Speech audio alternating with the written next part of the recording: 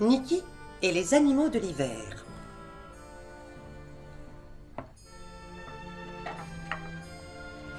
Niki et les animaux de l'hiver, un conte ukrainien, adapté et illustré par Yann Brett.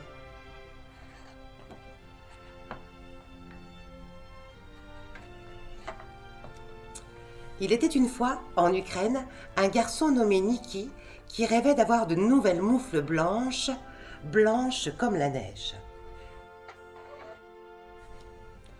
Baba, sa grand-mère, refusait de lui en donner parce que, disait-elle, si tu en perds une dans la neige, tu ne pourras jamais la retrouver. Mais Niki avait tellement envie de ses moufles blanches que Baba accepta finalement de lui en tricoter. Lorsqu'elle eut fini, elle dit Quand tu rentreras à la maison, je m'occuperai d'abord de savoir si tu vas bien, mais aussitôt après, je demanderai à voir tes moufles. Niki partit jouer dehors, et il ne fallut pas longtemps pour qu'une de ses moufles tombe dans la neige. Une taupe, sortant de sa galerie, découvrit la moufle et s'installa dedans. C'était confortable et chaud, juste à sa mesure. Elle décida d'y rester. Un lièvre passait par là. En s'arrêtant un instant pour admirer son nouveau pelage d'hiver, il vit la moufle. Il se glissa à l'intérieur, les pattes arrière en premier. La taupe n'imaginait pas que son abri fût pour deux. Mais quand elle aperçut les puissantes pattes du lièvre, elle se fit toute petite dans un coin. Alors un hérisson arriva, grinçant et soufflant. Il avait passé la journée à chercher quelque chose à manger sous les feuilles humides et glacées. Il avait besoin de se réchauffer et il pénétra dans la moufle sans hésiter. La taupe et le lièvre furent bousculés et tassés, mais ils n'étaient pas de taille à résister à une grosse boule bardée de piquants. Le hérisson n'avait pas encore disparu dans la moufle qu'un grand hibou, attiré par toute cette agitation, se posa à proximité. Lorsqu'il s'introduisit lui aussi dans la moufle, la taupe, le lièvre et le hérisson grognèrent.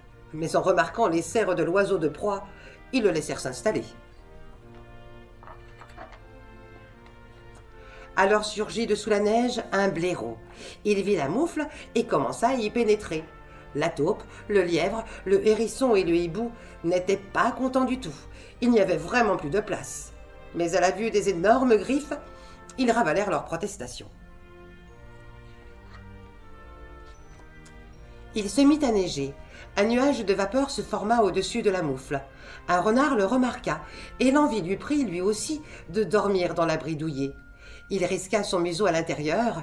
Quand la taupe, le lièvre, le hérisson, le hibou et le blaireau virent la gueule aux dents pointues, ils se serrèrent plus encore pour faire une place au renard.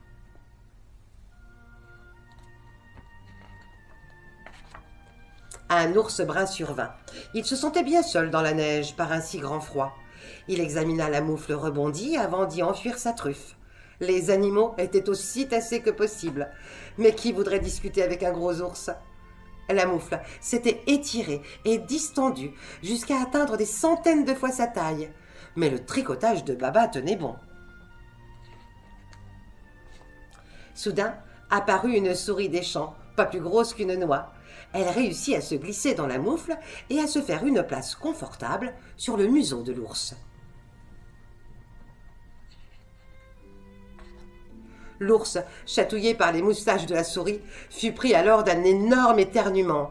Atchoum La force de l'explosion fut telle que la moufle disparut dans les airs en soufflant tous les animaux dans toutes les directions. Sur le chemin du retour, Niki vit une forme blanche qui volait au loin. C'était la moufle, perdue, qui se détachait dans le bleu du ciel.